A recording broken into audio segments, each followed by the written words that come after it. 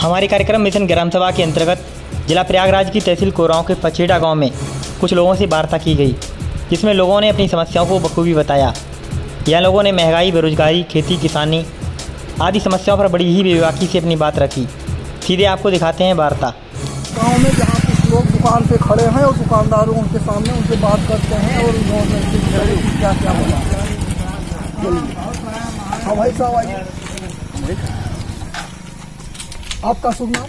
हमारा नाम मंजीत कुमार कनौजिया है। आप क्या करते हैं? हम खेती बाड़ी किसानी यही करते हैं।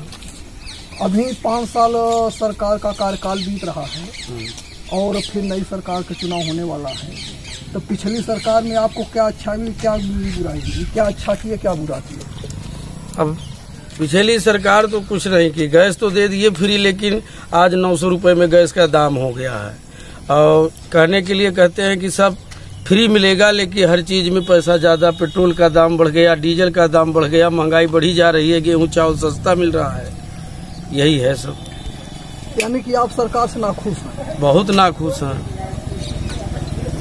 और आपका क्या नाम है? सुनील। सुनील। सुनील आप क्या करते हैं? खेती किसानी करते हैं। खेती किसानी करते हैं। आप पिछली पाँच साल सरकार बीत गई इसमें क्या है आपको समझ में आया? सरकार अच्छी थी या खराब थी? मेरे को तो कुछ नहीं समझ में आया।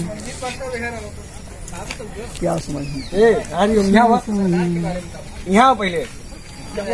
यहाँ हरिओम। आओ भाई आओ तो। हाँ विजय आपका क्या नाम अवधेश कुमार आप क्या करते हैं? क्या करते हैं? कुछ नहीं घर पे बैठे हैं। और क्या करें?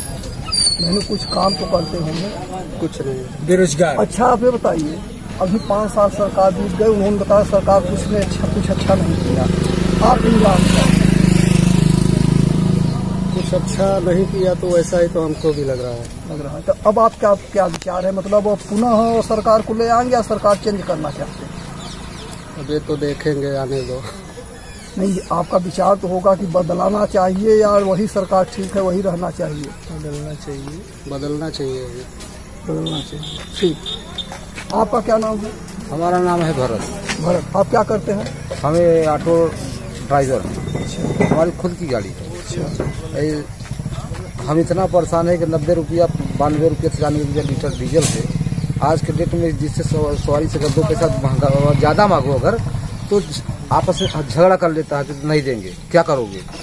हम इससे परेशान हैं। हम बहुत गरीब आदमी हैं। हम इसको लोन पर निकाले हुए हैं गाड़ी।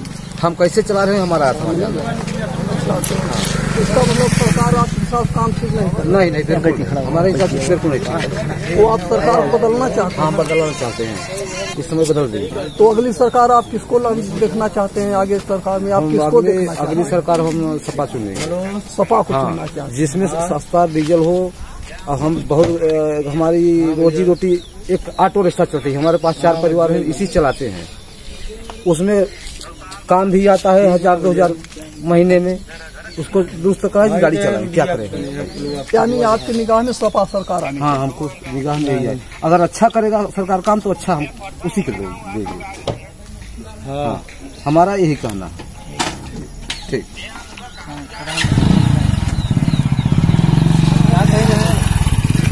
आप क्या कहना चाहते हैं? सरकार संबंध सरकार संबंध हम क्या कहें सरकार से जब से बीजेपी सरकार यूपी में आई है योगी जी की बड़ी महँगाई हो गई है हर चीज़ में डीजल पेट्रोल यानी जितना किसान का है अनाज वो सस्ता है जितना सरकार का संपत्ति सारी चीज़ महँगी तो आगे आप सरकार बदलने का इस- बात को हम चाह रहे हैं कि अखिलेश जी आए और सपा की सरकार